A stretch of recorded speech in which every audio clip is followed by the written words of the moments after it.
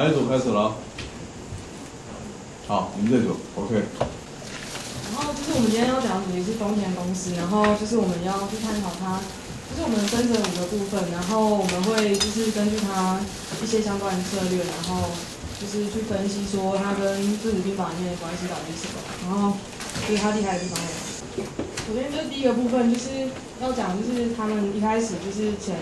呃一九零八年的时候，福特的时候，福特开始呃生产 D 型车，然后呃因为我讲福特是因为 就是那时候是他们是第一个开始大量制造，然后主要是就是开始分工，然后呃就是每个人专精在各自的制程，然后大量制造汽车的时代，因为在更之前就是可能是每一台都是手工车，然后然后大家就是会嗯。呃，一开始就就是大家会呃比较精致，然后年产量大概不到两千五百辆，但是在 T 型车出来之后呢，他们一一天就可以生产大概一千辆汽车，他们就是一个就是工业化时代的开始，然后再就是嗯，因为他们追求大量大量生产，然后降低成本的方式，但是在一九七零年代的时候石油危机，然后然后因为石油危机对的那个油价就开始上涨，然后。呃，因为油价上涨的关系，所以，哦，因为他们就是希望车子可以更好操纵，然后更耐用，但是以他们的方式，就是在呃丰田汽车的那时候的前副社长大大爷，他就发现了这件事情是非常危险的，因为他们的大量制造会浪费掉很，在过程中会浪费掉很多的生产成本，所以他那时候就发现说不能用这样的方式在继续生产汽车，然后所以他就开始改用。以市场为需求为根本的生产方式，就是他们一样是这样制造，但是他们会去看市场的需求到底是多少，然后再去根据那个需求去生产汽车。所以，呃，就演变成一个非常不灵的方法，就是他们彻底消除浪费，然后以即时化跟自动化的方式去开始生产汽车，然后，呃，以这样制造生产为导向，但是以需求为主的方式，然后去追求完美的生产计划。然后讲完这边之后，就是他是他们一个是大量制造，但是会有浪很多的浪费，因为他们就是为了要追求生产品的效率，然后然后所以就是会浪费掉很多的资源。然后大野市长他们在嗯，就他在一开始的时候就发现到这个问题，然后他就他就开始改变他的方式。然后嗯，他跟孙子兵法的关系呢，就是然后。呃，第一个是较较之而知有余不足之处，就是他们会分析对方的双双方的情况，然后就是根据他们自己的情况再去分析福特汽车的情况，然后找出比较呃适合的方式，然后就是他们有点像是先求胜，然后在万事俱备的时候，等待石油危机一发生的时候，他们在就是像福特汽车那样大量大量浪费的方式就会失败，然后他们在等待那个时机，然后就可以呃有就是。就是可以大举进攻，然后还有就是最后一个发火游时，起火有时就是他们在等待那个时机，然后就大举出手，然后占住呃汽车产业的龙头，所以他们就是因为他在，因为大家也是讲他的远见，所以在他们后期可以在呃汽车市场、汽车产业中占有很大的地位。然后这是第一个部分。好。对，然后接下来是我的部分，就是我主要讲的是他们丰田有一个在一九八八年的时候推出一个叫三，有实施了一个策略叫三运运动。对，那它其实是当时因为丰田汽车他们在那个时候他们的主就是他们那个时候公司规模非常非常庞大，然后因为他们日本的企业他们会有一个很特别的制度，就是像上面写的叫做比翼制度。对，然后它其实这个制度本身用意是好的，反正它是制度大概就是像假设今天基层他们要是有什么想法。然后他就要跟他们上面那层人禀报，然后上面那层人再跟上面那层人禀报。那这样子的做法其实很好，是好在就是基层人也可以发表他们的想法，因为上面人都会听到。可是，就如果当今天这个组织架构非常非常庞大的时候，就会变成他们一个讯息要从底下传到上面要花很多很多的时间。那其实丰田他们在一九，呃，他们在一九八二年的时候，他们把他们的哦，他们把他们的汽车制造跟销售部合在一起，对，然后那个时候他们整个公司上下加起来，就中间的管理阶层就有四千多个人，然后再加上他们当时的比例制度，所以他们其实那个时候花了非常非常多的时间在沟通上。对，所以后来他们在一九八八年的时候，他们就直接用了一个策略，就是直接把原本七到八个决策者简化到三个，那其实讲简单一点，就是他们直接从管理阶层开始去做大规模的，就是人设调动，就是直接把他们的组织变得更就是更扁平，就不会像原本的架构那么庞大。对，那这个就是刚才讲的，他们后来在一九八八年的时候就对开始执行三一运动的策略，然后在一九九零年的时候就废止科这一层的组织阶层。对，那其实这样做的用意，哦这边应该是九变篇，就是他们其实这样做就是。以一个组织来运作来讲，他们当今天他们的规模非常非常庞大的时候，其实本来他们在做很多决策，或者是不管是寻址在传送，还是在外面收集资讯，或是在推行一些策略，本来就比较困难。对，所以其实那个时候我们在念九变篇的时候，它其实里面都有提到说，就是如果当你今天要面对很多很多问题的时候，如果你这个时候你军队的单位比较小，你自然能够比较好活动。对，所以后来我们认为这边跟孙子兵法有连接的地方是，他们其实那个时候他们就了解到一个道理，就是当今组织。企业那么庞大，没有办法活动，所以他们就想办法把他们的组织变得更扁平。那能够以小单位活动的话，自然就能够应付很多状况。对，所以这个是他们当时就是在那个时候，也是算是改造组织的一个策略，就是开始让他们的规模变，就是变得以小单位行动，而不是那么大规模在行动。好，那接下来我讲的关于他们间谍的事情。那第一个是要为了找那个福特的信息基金，要去翻福特研究所的垃圾，然后翻了两个月，找到一个很。关键的金属碎屑，然后虽然说他们因此就被告，然后涉案人被逐出美国，但他们也因此知道福特那是那个秘密的情报是什么东西。那第二个例子是，呃，就是发生在他们刚进入美国市场碰壁，那那时候美国市场大部分都是由他们美国自己的通用跟福特两家汽车，然后他就想，他就想挖掘出美国人到底想要什么车，然后就他们居然派。派派人假装就是说要去学英文，然后去寄宿在美国家庭，然后三个月观察美国家庭各种生活的一些情况跟细节，然后还有一些他们交谈的一些话，然后所以然后他们就是发现了那时候因为美国就是人那个经济发展，人均生人生活水平提高，所以以往他们最早就是希望车是一个表彰身份的工具，希望又气派又豪华。但是随着这样的发展，他们越来越视汽车为一个代步工具，是一个必需品，所以就不求气派豪华。而且那时候因为停车位越来越难找，大车也比较不好找停车位。然后还有第二个，就是因为石油危机，所以让人们开始希望能够车能够省油一点。然后还有就是是就是因呃，因为美国那时候美国开始家庭迁居郊外，所以会家里会需要第二部车。那这个时候日本的低价，如果低价的车如果再符合。呃，在符合他们的需求就会很好卖。然后他们也查，他们也到第二次知道了，就是美国人对于那个小型车，同样提供小型车的竞争对手，就是那个德国的 Volkswagen 是什么想法？他们觉得 Volkswagen 的后座后座太小，不是前座后座，然后暖气不足，然后前内装也太简陋。然后他们针对这些去做改良，然后甚至呃，包括观察他们生活细节，知道那年轻人喜欢喝那种圆的玻璃瓶料，不是纸。所以他们这个细节也涉及到，然后甚至也会放冰柜在里面，然后之后就在报纸上登报，就像道谢。那我想说，为什么要登报道谢呢？我想这应该是顺便引发一些舆论讨论，而且也不会让人家知道也不会怎么样，那就是免一个免费的宣传。跟《孙子兵法》相关的是一个是用剑篇，然后就是一个企业发行新产品，就是需要花很多时间跟资源。那嗯。你如果作为作为主管，只是想要就是好大喜功，而不就是让人力白白投入，或是让资源白白投入的话，你就不是一个不是一个好主管，你不是一个呃良臣，或是你甚至也是这样子发行出来的东西也不能成。然后就是你要做各种的决策执行，你不能基于就是你凭空或是这些虚无缥缈的事情，而是真的去调查情报。那用剑有五种方式，这边有三种相关，就是阴间、内奸跟生间。那另外讲的死间跟反间比较不比较，现在已经不太可能用。那阴间就是找那么当地的一些居民就民众去，就是调调查，透过他们得到消息，就像刚刚那个那个那个日本去调查的国家例子一样。那内奸就是对方组织内的人，然后生奸就是。圣经也是像刚刚那样，就派你派你你派你有才能的人去去到对方的地方，去去到对方的地方去刺探消息，把那个消息传回。还有最后就是你各个决策各个细节各个面向都需要需要有情报支持，才能做的精确跟有效果。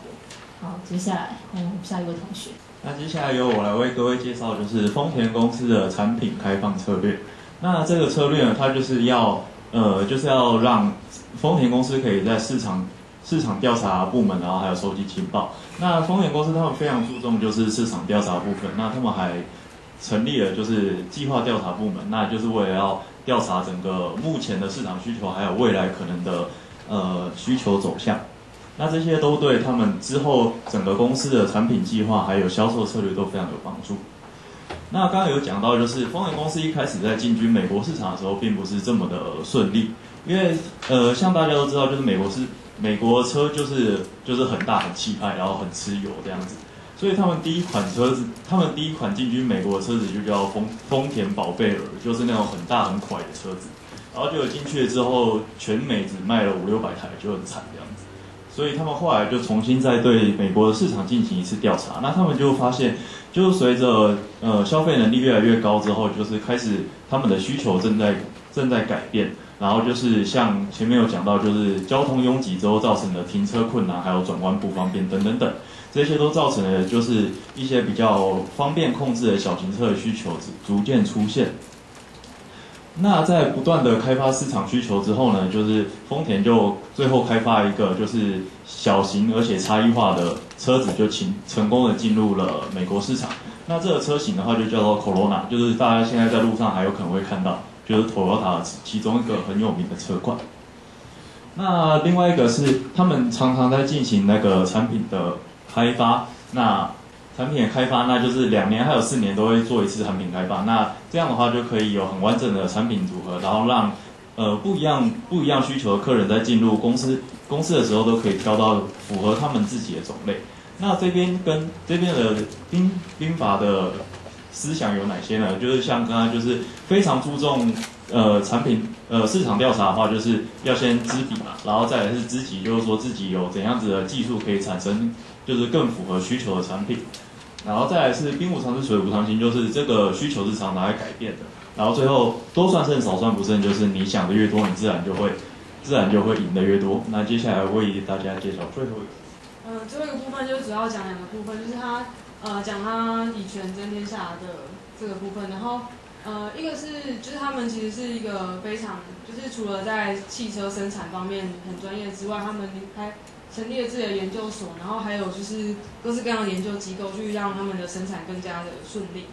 然后再就是还有另外一个点是，嗯，就是一九七零年代的时候，马美国法，哎，美国议会有通过了马马斯基法，然后日本以在一九七四年也完整颁布了同样标准的法规。然后呃，丰田汽车比较跟其他公司不一样的是，他们不会想说就是呃法规就就是想想办法逃漏洞，或是用其他方式去完成，他们是。就是他那时候的那时候的丰田英歌，他就决定说，就是在达不到标准之前就不能上市，所以他们是在他们是在那个时候少数就达到在颁布法法令没多久，他们就达到标准的公司。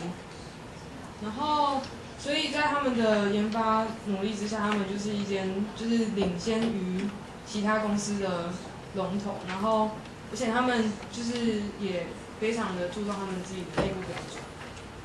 然后刚讲到还有就是他们有财团，然后还有就是各大经济的投资，然后还有包括研究所领域等等。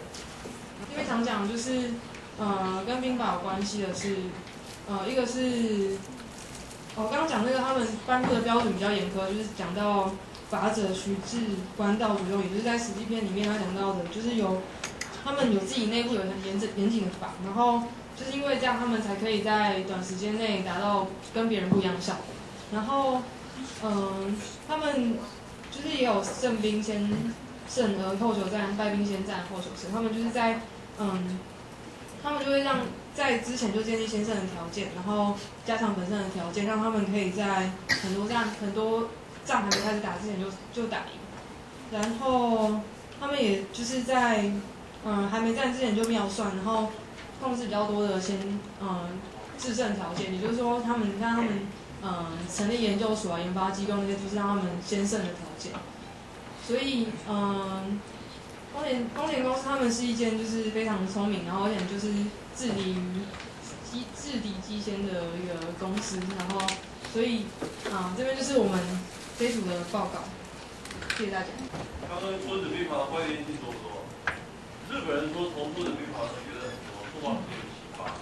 你觉得公演所采取的这些调查啊，啊，了解跟美国人的这个生产方式有什么不同啊？啊，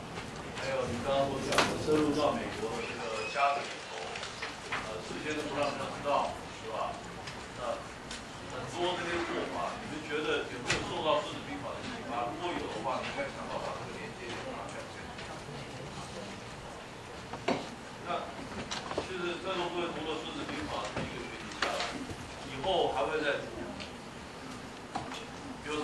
发？那个启发是内心深处的某一个触动，这个触动，呃，应该是印象很深刻的。把这个触动把它表现出来，把它给具体化，你会发觉确实受到了对方启发。所以他的启发是很很心理层面的，你知道吗？那那怎么去表现出这样的一种启发呢？是吧？有没有什么想法？怎么去怎么去强化一下这样的这样的启发？呃，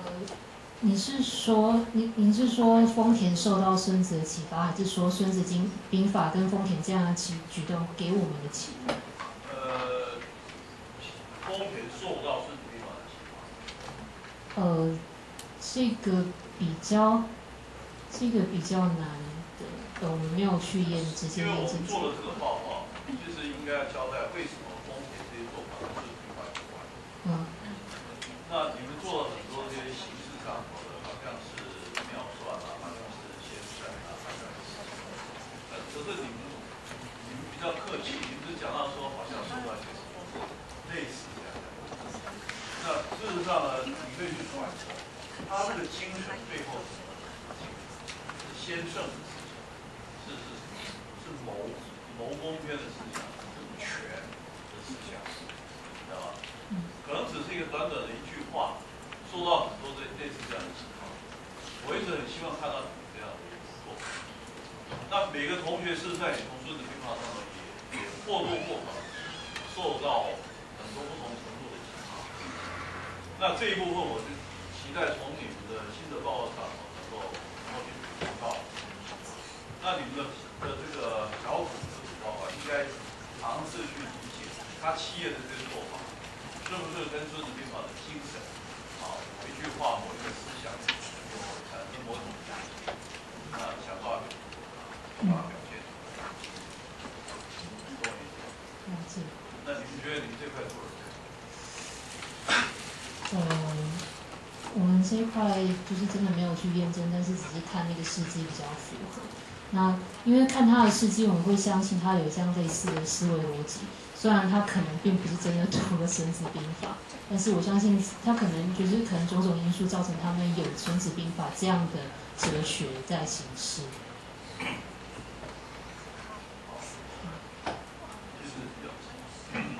这个才是他。有没有什么想法？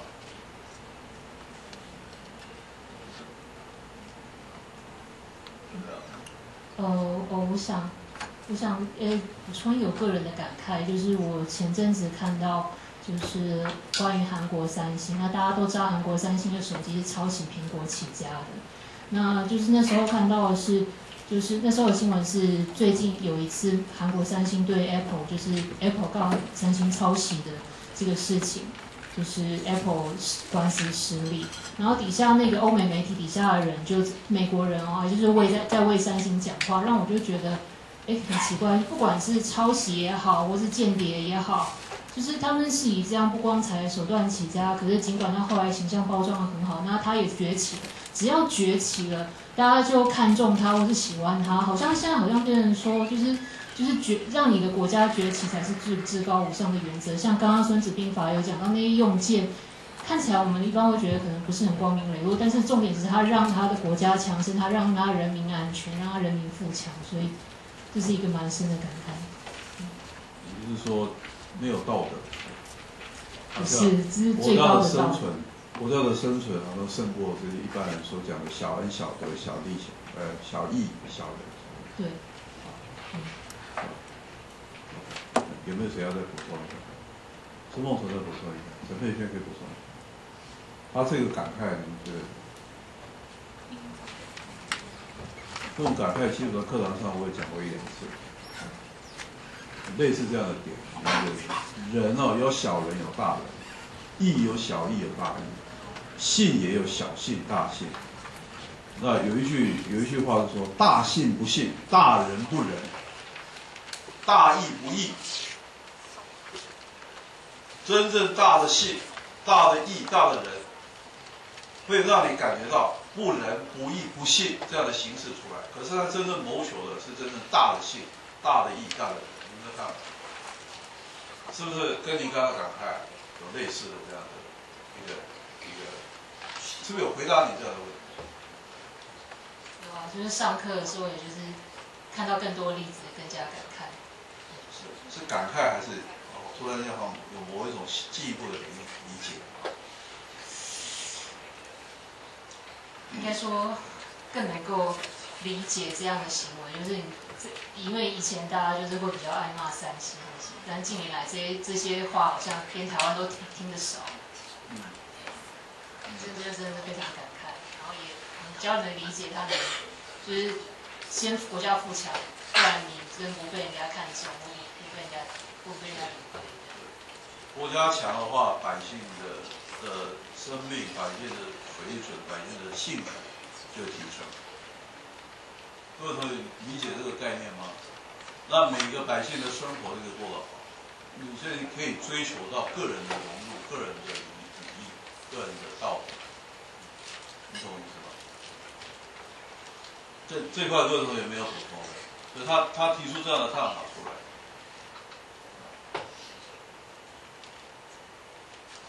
这是一个大家值得去思考的。我觉得比较总结上来讲，大仁不仁，大义不义，大信不信，是吧？很多时候你觉得这个人的做法好像有疑义哦，有问题哦，可是背后他谋求的，往往讲不清楚。这是很值得大家深思。那我比较想了解的就是各组上来做报告，以及对这个《孙子兵法》的理解呢，应该想办法去侧重在，不是它字面上头的意义，而是呢它背后上头给我们心灵上头，给我们的智慧上头起了什么样的，起了什么样的一个发想，给我们什么样的启迪，开我们什么样的一个窍，让我们知道说，过去想不通的点，我们想通了，想通了以后，我们就可以放手。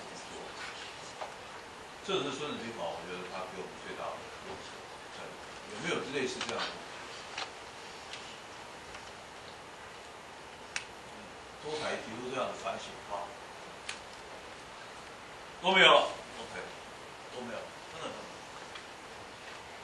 有。有哦，一眼神告诉我。好吧，那待会我们看看陆续的其他的组别，如果有什么问题的话，可以再提出。事实上，你们可以提一些问题来取代你们所提供的答案。我们的答案可能不成熟，可是我们可以问个好问题。这问题不见得课堂上能够有解答，可是它却可以留在我们的心中，可以留到很久。说不定到了你民国几年的时候，你几岁的时候，突然间你对这个问题突然间啪懂了，哇，那那一个问题存留在心中多年，突然间你终于了解这个概念，你看。有很多的很多的智慧都是这样产生出来的，看看有没有这样的东西。对，同学可以多提问一些问题。好，谢谢他们这一组。要报告的题目是那个，就是现在中国大陆比较他们那个智慧型手机公司，就是小米，然后我们是先以魅族来代替，就是呃，就是跟他做竞争的这些呃众多的，就是其他的那个公司，智慧型手机公司。大概就是我们先简介就是公司，然后他们现在的概况、产业概况，然后跟小米它最近面临到困境，然后我们再就是做诠释的。这是小米的 logo，就是它那个 N I 啊，其实你倒过来看，它把它倒过来的话，它是一个新，就是一个新的这个字，对，然后少一点。他说就是他说他小米当初在就是推出小米机的时候，希望能让使用者少省一点心，对。然后小米的简介就是它。就是它呃，二零一年成立，然后它就是之后就是推出嘛，就是小米机，然后它推出一些就是像米聊啊这些系统，然后跟它的它建立在 Android 系统上的那个呃 N N I U 的那个系统，然后还有就是呃就是这部分的话我后面再解释，主要就是小米机、红米机这部分，啊它有因为它分低低端机跟高端机的那个定位的不同。然后再来是魅族，对魅族的话可能呃可能就是入社的同学会比较熟一点，这个可能大家没什么听过，就是它它其实是比小米还要早，就是推出这一手机。它一开始是走那个 M 赛代工，然后它后来就是在呃他们的领导就是黄章，就是在呃就是在看到那个中国大陆的 M 三播放器其实已经没有什么未来，他后来就果断放弃。他在零九年的时候就是推出了那个，它比 HTC 要早四年推出 N 八，对，是魅族八啦。然后它就代表他们公司转型为智慧型手机的厂商。然后他们的呃就是这的话是那个他们的就是一个市调关注比例，就是说呃像就是大家可以看到是那个苹果，然后三星、华为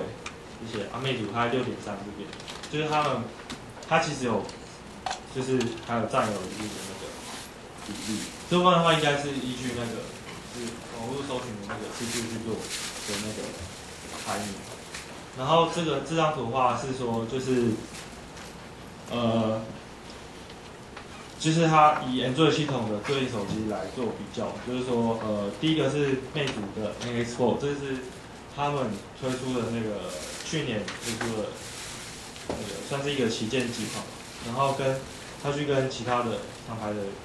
那个，像是小米的话，小米在这边，小米四，就代表说，其实这张图意思只是要说明，呃，其实魅族它有越来越追上那个小米的概念。那为什么？就是我们说，就是说，首先我们先看那个，就是呃小米的它面临的困境，就是说，因为大家可能对小米机比较熟悉，它主要就是它就是强调它的高性价比。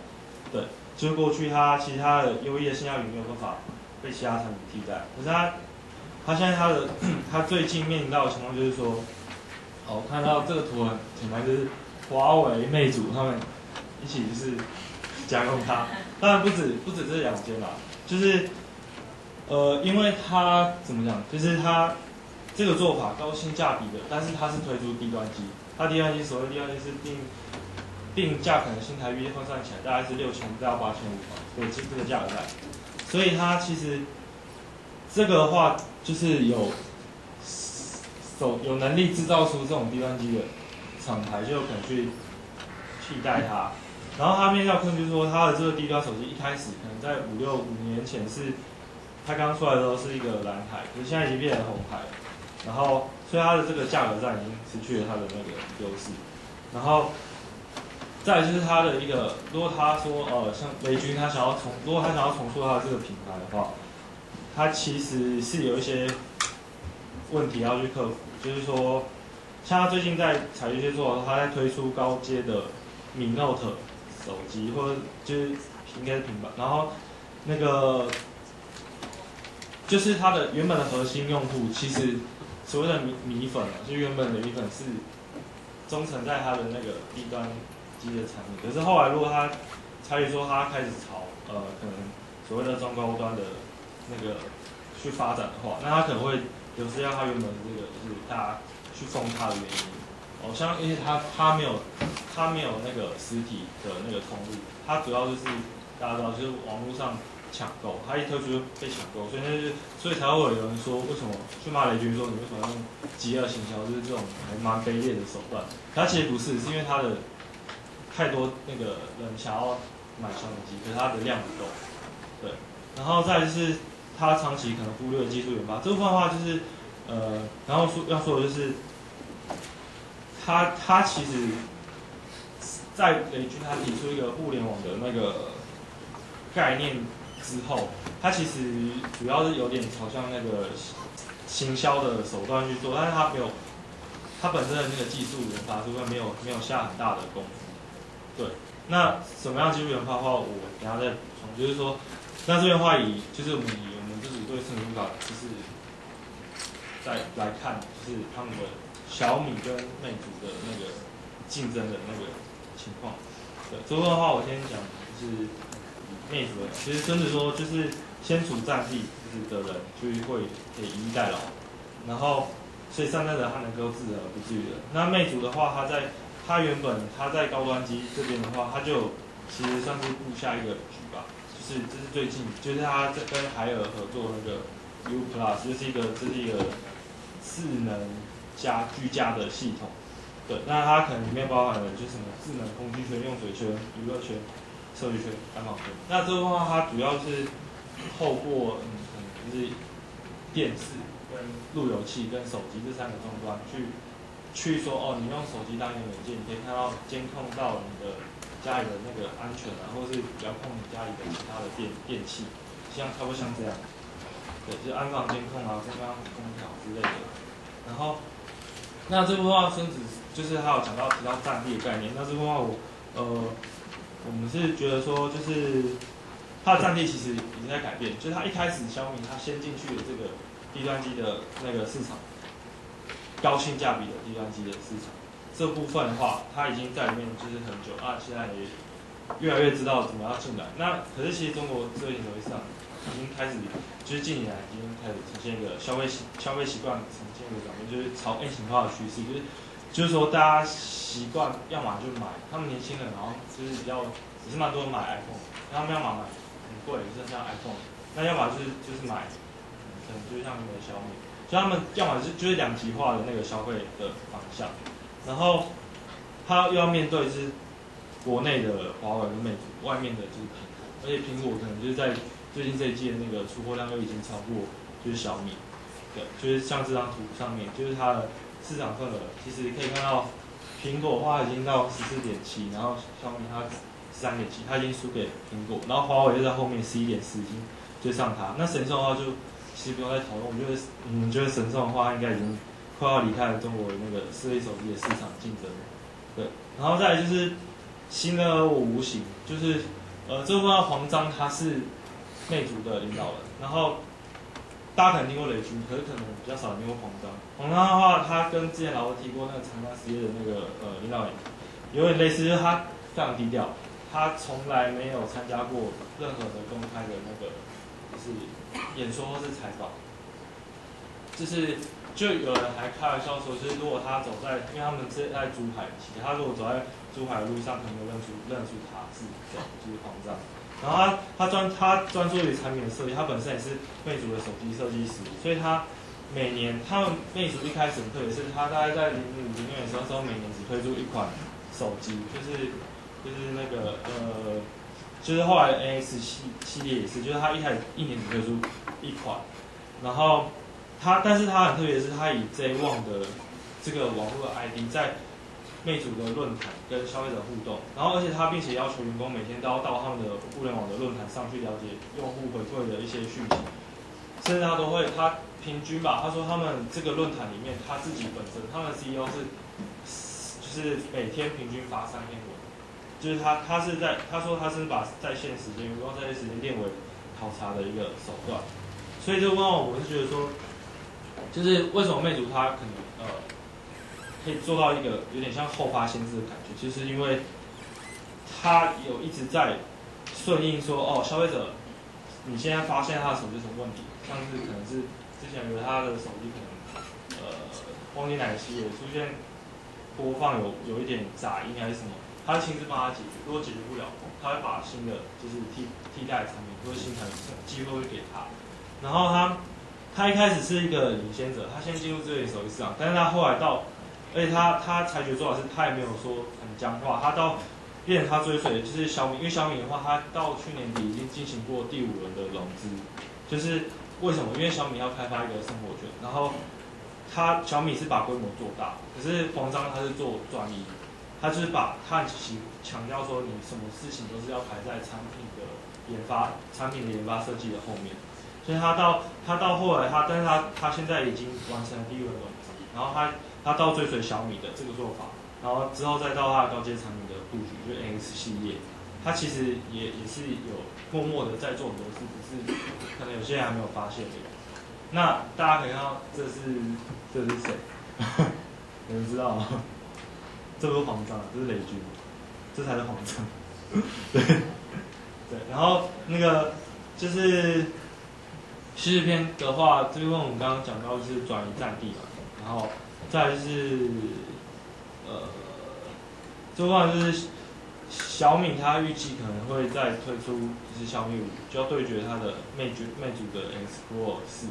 这话就是我刚刚讲，他们突它突破了价格在两千元的部分，所以这话其实，呃，其实他我会觉得说，嗯，你觉得小米它必须要考虑到说你自己本身的品牌力够不够这个问题，就是你有没有办法做到你自的不自由，或者说你是进去然后被魅族就是自这样，或者被其他人治，对，那这是他们的那个游戏规则，他们现在的主打旗舰业规则。然后我们还还有觉得说，就是，呃，为什么小米最近会陷入这个困境呢？就因为他其实他从推出到现在，他白手起家到现在，就是中国的领导品牌，他其实他的做法已经让他树敌很多，甚至像之前连什么格力空调，那个他们那个女执行长嘛，也就是跟他说，就是他要去下一做手机这样，然后之类的，然后到就是很多很多竞争对手要跟他参与这样的就是竞争。对啊，这是小米的那个之前的那个设备。然后这部分的话是，呃，我们用一个简单的举例来看说，当如果你想看一下你是雷军或你是黄章，你在面临到这个竞争的市场的时候，你可以去怎么做思考？就是呃，这是指百分之四，然后给你个人。那如果市场上说有你不知道，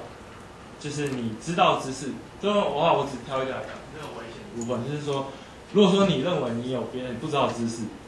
不知嘛知识，或者说大家不知道的知识，可是你知道，这话可能是你在自我膨胀，其实就是就是说有可能是，要么就是你是真的知道人家不知道的东西，或者是或者是说就是，就你可以想到说，其实是我有可能是一件危险的事情。那如果有大家都知道的事情，你却不知道，那你就应该要去反省。对，那如果说大家都不知道，你也不知道的话，那就是一个黑暗地带，那你可以去。从这边去做一个创新的思考，然后知己知彼，百战就是不赢的话，这部分的话就是，呃，我想说这字面话这边的话，那个横轴的话应该是指就是个人，然后纵轴的话是指就是你的竞争者，就说如果你个人不知道，但是你现在知道，哦，那就是十分致命的事情。那大家可以想看说，嗯，有哪些事情对你来说十分致命？啊，嗨，嗨，大家好，然后。最后，我们就是前面先介绍完，就是小米跟魅族它的竞争对手嘛，然后我们就要给小米公司可能一些建议，对，那我们报告就比较完整一点。那建议这边我们就是提到那个小米，它现在其实有建构一个生态圈。那它建构一个生态圈，雷军就他那个 CEO 就说，小米的成就就是要呃硬体加软体加服务嘛。那它生态圈的三个部分就是又透过。啊，智能硬件平台来建构，它是一个基础。那还来建构右边这个移动互联网平台，然后最后通过电子商务的平台把它的东西销售，所以电子商务是通路。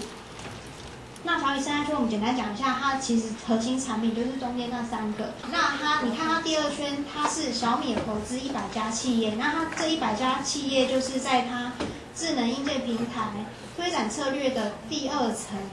第一层是核心产品，第二层他投资一些一百家企业，他现在已经投资了五十二家，都是硬体企业。像刚那个齐阳有提到那个紫米，就是智能家居的范围。那紫米它有行动电源，跟华米还有啊智慧手环，就是很红的小小米手环，都是他投资金下去啊做的东西。那它第三层是电子商务平台，它就是要销售。第四层就是那个米 UI，就是米柚它的作业系统。这样是它的智能硬件平台的推展策略。那我们在这边，我们就看到上面它是不是，嗯，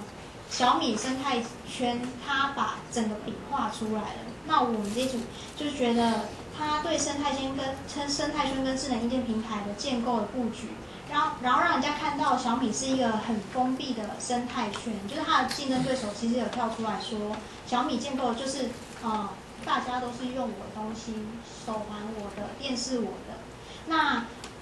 然后它有很多多角化，像刚看到它不是投资一百家企业嘛？里面其中有那个路由，呃，小米盒子跟电视。那它电视它就是等于是跨了一个新产业，但它对政策不熟悉，所以电视他们其实是像那个机上盒那种，其实是有政策，你需要通拿到执照。那他对这个行业不熟悉，所以他在那个地方是有点弱败的。那反观它，因为你要，你其实最好的方法是要不要不要让敌人看出来你你要做什么嘛。但他现在把饼画出来，可能里面还没有呃还没有很厉害的作为。那他竞争对手魅族也是有一个生态圈，但是他竞争对手是一个开放的生态圈，所以这边可以说就是。虚实篇有讲到，就是如果我的兵力集中在一处的话，是不是我可以用呃我众而敌寡的有利形态？但是小米现在就是没有这个情况，因为他现在把自己的力量都分散到各个地方，他很多角化。那然后我们就有看到一个情形，就是小米它是要打造一个帝国，但是魅族它竞争对手是走向共和。魅族的生态圈是一个很开放的，它的合作伙伴有阿里云平台，那阿里云平台就是。它就是要可以进行它的大数据分析，那它跟海尔家电合作也是要推广智能智能家居的那一部分，所以魅族的开放就是可以允许不同就是智能硬体设备的相接，对，那这样是不是就是魅族它可以专心在它手机的部分跟它的呃系统部分，那其他的智能硬件它就是做一个开放的系统让大家来跟它连接，所以我们这边就讲说呃魅族其实就是。它是一个规模稍微比较小的公司，因为大家都知道小米很资金很庞大，那它魅族会选择开放结盟做法，就是因为它本身是一个小公司，它可能没有没有力量像呃小米去去呃弄一百家公司来建构它的小米生态圈，所以它现在把它自己的生态圈变成一个开放的。那最后我们就是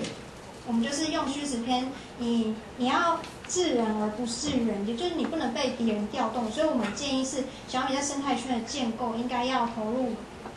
更多，就是在建构在软体系统加强，然后结合它的，因为它的这个米粉很多嘛，然后米米粉的用户那些米聊都是它的大数据，然后进行整合，而不是很分散的这样，可能会如果有一个突然挫败，可能会有些问题。OK，谢谢大家。好，发问时间。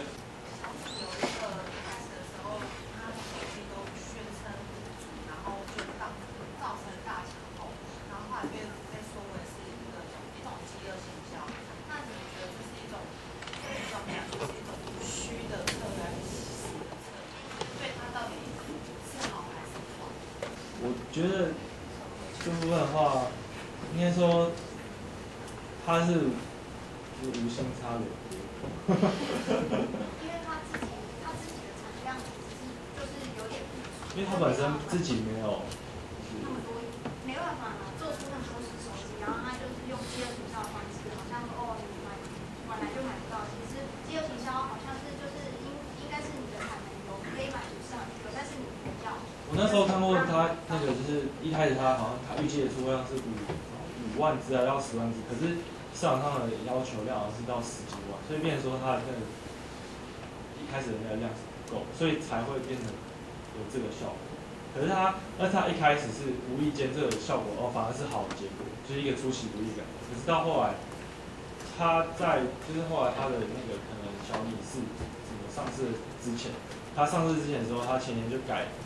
临时改了他的产品的包装还是什么的，就是造成一个市面上一个负面关注。可是那个关注就变成大家有关注到他，哦，他即将要推出新的手机还是什么？可是就变成说他在这些地方上动手脚，而反观魅族，魅族是在最后在产品研发，啊，领导人都都不出面。那我觉得说，其实这两个做法可以让大家去做一个比较，说，呃，究竟就是哪一个做法是比较好？就在这个情况下。然后我补充一下，就是我刚刚有讲到，就是其实雷军一开始在建构互联网的时候，他他的想法很好，他分了三层，他从硬体出发，然后到你的 软体的系统，再到最后，他希望在你的软硬体都建立起来一个生态系统中，然后他提供你服务。他原本是硬加软加服务，他原本是他提出一个很，我觉得还蛮煽动的口号，是说，他说，呃，当你站在风口上的时候，连猪都会飞。他就是说他想要造势。而是一个大大的事，可是就是，但是我们发现的问题就是，他现在是太，他太有型了，他的型太容易被大家抓到了，所以变说，你的你连在第一层都顾不好，连在一体这部分都没办法稳固，那你要怎么去谈后面？更何况你还想要沿用 Apple 的系统，说你想要创造一个像是 i Apple Apple 连 Apple 都不一定能够成功建制一个属于它自己的生态圈，所以或者家居系，更何况是什么大的小米，这我不知道啊，对吧、我不是，它这跟村子变化有什么关系？就是我们有从中间去这里是在讲那个魅族，它其实是处于一个比较独立的状态，它是小公司，那它怎么把它的 哦，他怎么把他不利的条件转换成他有利的条件，就是他变成一个开放的地方。就是我们在看他的竞争对手地方，发现孙子兵法的，是他有意而为之，还是 happen by chance？嗯，他应该有有意为之啊。可是他是？饥饿行销，饥饿行销，我觉得还蛮虚虚的。我觉得他应该自己要顾好自己米粉的忠诚度，去，然后他应该把他的系统建构好，而不是一直在搞那些花招，说什么哦，你再来再晚来就买不到，或者是一定要什么会员才能买到。我觉得饥饿营销不是不是很好，就用几次大家都觉得买就买不到。买不到，买不到是坏，反而造成很大的利益，有有可能，嗯，有可能。是吧？那还有呢？你们你们很多地方都都有引用到叙事篇的一些概念，他们说像这个行兵之极至于无形这一块怎么说？嗯，这一块其实我们是想说，因为你你就是要让别人看不出来你要干嘛嘛。但是现在小米它就是它就是雷军就是把它想要做一个很大的事业，他想要就是让串联就是一个什么移动互联网，然后他想要从它它的硬体做到呃虚实整合嘛之类的，就是软体。对，那我觉得他画出这样的大饼，会有很多人来。这样是一个有形的东西啊，就是人家就知道这个公司以后就是要做这么大。我的愿景就是，我就是要这整个都是我的小米的人。那别人会去看到你的形，那别人不就会你的竞争对手其实很多，那别人从这块插进去，别人从那一块插进去，对啊，这样他不就是会很容易被。对。嗯，这边我想说，秦兵就是最，因为我想说他就是没有做到。哦，就是说他没有做到，他应该尝试用这种方式，要让别人看得到，对啊卖出不会高要，就是也是在讲趋势篇。这容易做到吗？如果它规模那么大，然后而且不太容易做到。对，那、如果是苹果，它有大家不知道很保密啊，不知道它下一支推出什么。你你你不觉得所有这智慧型手机的公司当中，就是苹果老是都能够很神秘的感觉。很神秘的行人之体，至于无形的，嗯然后小米就是有点想模仿苹果那样去建造它自己的那 iOS，然后去整个生态圈。但是苹果其实也还没有做起来。不过苹果就是有一个神秘感，然后果粉就很多。他们两个不够低调。如果够低调的话，不应该看得到他们的照片。哎，老师那个应该说雷雷军雷军的他他比较没有那么低调，但是黄章比较特别，他是你你什么时候去找一个华为的任正非的照片给我看一下？你大概找不到，哦，可是黄章他搜寻他的名字就只有这一张，就只有这张。对，而且这是被人家截图的，他是哦，被人家偷偷对，这不是他的名字，对，华为任正非，你真说真的你就找不到他照片，为什么要低调啊？各同学，好吧？造成什么优势没有？这这需要大家去思考。你真的尊重这样的行事风格吗？他给我们什么启发？反省之下，我们是不是太高调了一些？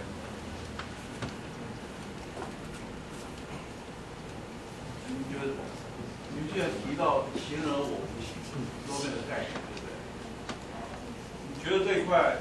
有没有对我们 MBA 学生造成什么启发？现在这个时代都鼓励人们要自我宣传的，就是逆道而行啊，感觉怎么样？哦，我觉得，我觉得那个就是类似像在 Facebook 上面我我在网络上不想被人家搜寻到，我不想要人家知道你的名字，就好像说啊，听什么中央气演师廷伟，然后如果人家上网 Google 一下，就会发现什么从我高中读哪里，然后连接到我 Facebook，所以我后来把 Facebook 的名字就改成英文名字，这样人家就连接不到了。对，就是我不想要让人家看到。多多久以来有这样的做法？我开头没有，我开头是用中文名字啊，结果我发现有别人搜寻到，然后就说，哎，你就是可不可以加你好友啊？你是不是台南人什么？然后我后来就把它关掉，就比较没有，然后那个个人资讯就都关掉啊，不要被人家看到你家乡，家乡可以，对，或者是你常出没的地方。我记得那个 Facebook 那个什么，Facebook 那个什么名字，反正他的那个 CEO 他就是说。大家不要在上面铺露自己常去的地方，或者是把你的家人都列出来。所以我后来也把我家人全部都隐藏起来，就是不要让人家，就是不然如果人家绑架你或是干嘛，他就去你会去的地方堵你，你最喜欢去的咖啡厅，或是你上学路线，不要暴露自己的行踪。Facebook 的念慢一点就变成 Facebook，这样。Facebook。所以，我我是觉得可以增强自己的实力。等到有一天我变得很厉害，可能可以在公众面前讲话，那大家可能就是比较知名的人物，再去显现自己。好吧，所以下面什么问题？好，没有的话，谢谢老师。老师，各位同学，大家好，我们是资管硕二在职班的同学。那我们这次选的主题是利用《孙子兵法》来探来。来研究我们的其实题目还没想好，不过刚刚我们有讨论，我们的题目就叫《爱情三十六计》，利用《孙子兵法》来讨论如何追男女朋友。啊，我们的题目，那这第一篇是说，因为老师刚刚讲日本人对《孙子兵法》研究比较透彻，所以我们也找了一个日本人，村上春树有教如何追女人、追女朋友。他这边他在他的那个现实的网站啊，有公开回复读者。里面有一篇是这么写的：五十三岁的男生表示，他想要知道如何勾引比自己二十岁的女生。那村上就建议他读《孙子兵法》。那这边有讲一个最重要的是，你要收集资讯，你要创造与他转化的机会，并且找出他将如何对应你的追求。那我可以先看一段影片。先读《孙子兵法》。日本小说家村上春树喺上个月中设立名为村上先生的地方嘅限时网站。公开回复读者问题，短短两星期已经收到近三万条信息，当中部分内容非常大胆，就例如提供情欲贴士，开玩笑咁样建议读者同一条鱼做爱，并且要一名想追求年轻女子嘅男人先读下《孙子兵法》。因为看到这个主题，所以我们觉得它很有趣，所以我们就打算做这样不一样的一个题。那我们这边讲了十个 capiter，。那利用十个 capiter，把它依照步骤，然后把我们想得到的《孙子兵法》套进来。那我们这次的报告大概是这样。那我们先来第一章。第一个我们觉得很重要，慎选对象。因为你要如何去追一个女朋友，你一定是已经有一个目标了，你才知道说你为什么追她。那我们这边选到是用孙子者，不知诸侯之谋者，不能欲交。那这是我们现在都是用周遭朋友的例子。在某个场合认识一位休闲管理系的女生，但是这个女生周遭人都说这个女的很难追，但是男主角还是毅然决然去追这个，就是这这个女生，并开始收集女生的一切爱好。但是其实人是很感官的动物，你第一眼看到这个女生你觉得喜欢，你就会有想要追的念头；或是女生看到这个男人你很喜欢，你就想追。但是你这边要很切记，就是我为什么要选择这个对象，这边讲得很清楚，就是。为什么会选择这个女生？因为我发现她很孝顺，加上很会照顾，很有爱心。很重点是她很会理财，因为我比较没有金钱观，所以借由这个原因，所以我愿意去做追求的动作。这是第一个慎选对象。所以我们的第一个章节就是用慎选对象。那第二个章节章是要追她，必须要从她的朋友，最好是连她妈妈都追起来。对，擒贼先擒王。你要想哦，她的闺蜜。他的朋友如果每天都在他的旁边讲你的好话，你要追到他的几率几乎就是百分之百。所以第二个章节我们就讲从周遭的朋友探穿情报，用剑篇。这边孙子有讲到，先知者不可取于鬼神，不可向于世，不可焉于度，必取于人之情，敌之情者也。就我刚刚讲的，针对闺蜜和父母着手，与她好朋友建立关系啊，探听她。但是这一个步骤其实很多人都知道，也很多人会做，但是不一定会达到效果。就是表示说，嗯，模就是你做这件就是吃，就就像我举个例子啊，炒菜啊，每个人都会炒某一样菜，比如说老师上次讲麻婆豆腐，但是炒出来的手法跟味道一定是不同。那第三个，然后再就是建立你的形象。这边我们用到的是兵士篇，故善战者求之于事，不责于人，故人责人任事，塑造出完美的形象。任何关于他们家里的问题都能处理，等于是说他只要想到问题就想到你，要塑造到这样的形象。当然不包含你会一定会做到很多不想做的工作，比如说搬运工啊、司机啊、跑腿啊，参与他所有这些都是性。但是这边我们只是建立一个形象，不是说。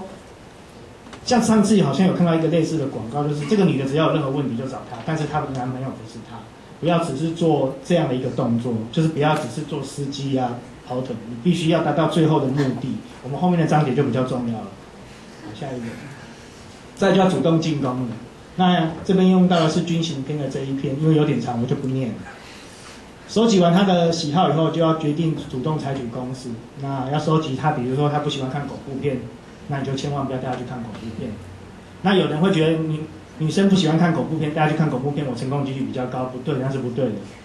他不喜欢看恐怖片，就真的不要去看恐怖片，不然晚上做噩梦就只会骂你。然后建立好就建就是还要包含去让在他的朋友面前，就是刚刚前面有讲到的嘛，你追寻他的朋追求他的朋友，也追寻追求他也追求他的朋友，顺便把他母亲追起来。这样子无时无刻他都会在他的面前讲你的好话。那第五章，不战而屈人之兵，这篇我觉得我个人觉得这篇比较重要。孙子云：百战百胜，非善之善也；不战而屈人之兵，善之善也。这边我举到一个例子，就是把一个女生约出来，但是她如果一直不出来，你就要有一个理由让她一定有办法出来。比如说她车子坏掉了，那她就一定要去修车。那你就是要带他，一定要带他去修车厂，而且是你认识的修车厂，这样子你才有跟他光明正大约会的理由。然后千万记得，女生的电脑需要重灌，不是你灌哦，是请你会灌的朋友帮忙灌。在灌电脑的这个期间，你才有跟他约会的机会。千万不要做一个只会灌电脑跟修机车的人。对，这篇我们觉得很重要，所以我们这边推。很多人都会在这边犯了相同的错误。对。就是不要只是只会修电脑，是要我不一定会修电脑，但是我要认识会修电脑的朋友，所以也欢迎大家认识我们资管的同学。好，下一篇。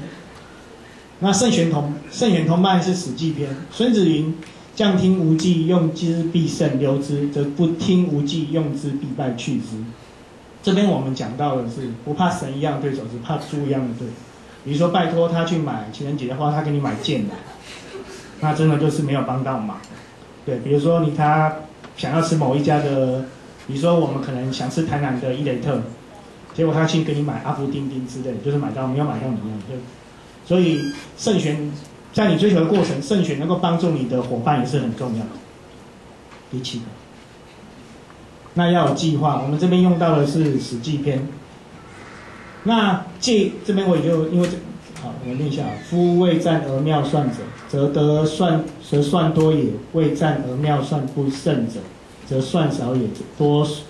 多算胜，少算不胜，何况乎？何况无算乎？无以此观之，胜负见矣。这边我们认为，你在追求的过程，你一定要有很完整的计划。对，那既然就前面已经第一章，我们就开头明，就是你已经选择这个是你要进攻的对象。那就是不达目不达目的，不不择手段，就是一定要达成这个目的，不然你要是没有追到，也是被沦为别人的笑柄，就是要么不出手，一出手就一定要成功。对，下一张。那这一篇我们选的是谋攻篇哦，这个是我们周遭的一位。Keep your friend close, but you are Emily closer。就是孙子云：知己知彼，百战不殆。这个我觉得在老师这堂课，我们因为平常是第一次接触这堂课，所以我觉得这一个知己知彼，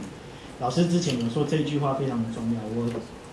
也建议皆皆有老师说，借为我人生的一个座右铭。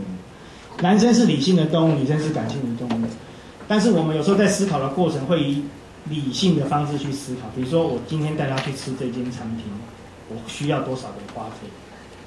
之类，或者是我看电影，我还要去接他，我还浪费油钱。如果好死不死又下雨，我没有车，我还要去借台汽车载他，诸如此类。但是女生就是不会了，女生是比较感性的动物，所以这个故事这个这边告诉我们，有时候要追求另外一半，你还是要站在人家的角度去思考，他们毕竟。你的目的是要追到这个女生，所以你还是要站在女生的角度、感性的角度上去思考问题，不是以理性的角度去思考问题。那第九，那最后我们这边是胜兵先胜而后求胜，我们这边用到的是军行篇。这边我们讲的就是千万不要贸然的去跟女生告白，这样被拒绝的几率很。因为我本身是巨蟹座的，那螃蟹比较怕死，对，所以我们会在旁边一直观察关。得到没有问题才出手，但这一句话也是，所以这边后面我们想，通常只缺只在缺一句“我爱你”的情况再告白，你成功的几率就非常高。那这个是我们觉得比较重要的，最后放在最后一篇：兵者，国之大事，死生之地，存亡之道，不可不察。那孙子开宗明义点出战争的重要性，在爱情的世界，处处都是战场，等于说周遭都是敌人。不管在追求的过程，或者是在相处中的情敌出现，每一场都是硬仗，每一场都是关乎生死的战争，因为这关系关乎到一生一世的幸福，对，所以必须要慎重看待，每一次的交战都要步步回应，谨慎应对，因为这都关乎到恋情是否可以持续加温，对，一次糟糕的约会或是一次不适的对谈，都可能会打入冷宫，所以我们这边有讲到啊。追求的是很重要的，因为对国家来讲，对父母来讲，都是一件很重要的大事。因为老师上，哎，之前不知道是听另外一个老师的，现在已经是劳保跟健保都已经有趋近于危险了。如果大家都还不结婚，又少子化的结完，以后变成我们年轻人的压力就会比较大。对，所以再来呼应我们这句话，就是兵者，国家大事。所以我们认为这件事是非常重要。那这边我换口气，换另外一位同学来讲一下。对，那最最后这个给我们的启发，因为其实我们在预在预备的过程，我们就一直觉得说，我们学了一学期的《孙子兵法》，那我们觉得学了这么多，其实很重要的一件事情，我们觉得是在向上面讲，就是坐而言不如起而行。就是我觉得我们其实都觉得《孙子兵法》《孙子兵法》是很需要去演练的，就我们不能只有纸上谈兵。但是，所以，但是我们又想说，那演练的过程总是很辛苦嘛，所以我们绞尽脑汁才选了一个。这样的一个题目跟跟大家做分享，不过给我们一些启发，其实的确在这个预备的过程，我们觉得不只是在可能追女孩子的部分，其实广义来说，尤其像我们出社会，我们很知道人际关系的重要，所以就不不止在应用在追女孩子，我想说不定在整个我们的人人际关系的时候，其实都都是可以可以去做做这样的一些应用跟学习。所以我相信我们就是也希望我们的孙子兵法孙子兵法的一些学习不是。只有在在这边做个结束，就是像我们一生之久都可以去去体会它它的一些的美好。那以上是我们这组的报告，谢谢大家。我问那个送花为什么会送剑来？因为其实我们这一组声东击西只有我一位女性，那我们的那个报告人实至名归，他已经结婚了。那学弟们真的可以多学习。那这一堂《孙子兵法》的启发，就是说我们在做这个报告当中，其实我没什么贡献度，我只是会站在女性的角度去看。但我觉得有些东西对我来讲不适用，啊，有的真的是很适用。譬如说，其中有个策略就是投其所好，然后要知道他厌恶的东西是什么。譬如说，我不喜欢看电影，千万不要邀请我看电影这件事情。所以在我们在做报告当中，最大的启发说。除了是说可以带给学弟们很好的一些策略以外，呃，交女朋友，甚至以后步入婚姻，呃，然后一起共度下下半生，又或者是我们其他还有其他男性组员是未婚，他们都学到了很多。这个是我们这学期修《孙子兵法》当中，除了老师讲的一些实战的经验，在我们在爱情的这一块有得到一些收获。谢谢大家。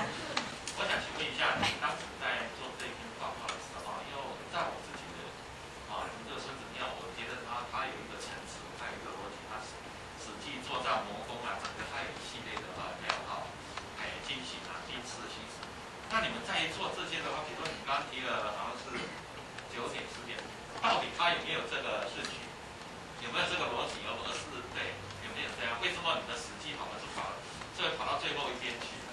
对，书里有史记篇特别多。没有，我们最后放史记篇是因为想要强调说这个动作是非常重要的。对，那学长，我再问，因为孙子在这一本书里面某几个章节，他的人生过程是不一样的。在我看的时候，好像前四章、前五章，他是在另外一个人生过程；五到六章好像是一个人生过程。所以他在每个时间所写的心路历程可能是不太一样，不过也是有他的顺序。那我们为什么会穿插着用？是因为我们从一到十个章节是我们觉得会用到的步骤。选完这十个步骤以后，我们再把孙子应用到的东西套用进去。哎，并没有说我们是按照孙子的步骤走。对对对。最后只是要强调说这件事很重要，你一定要去做。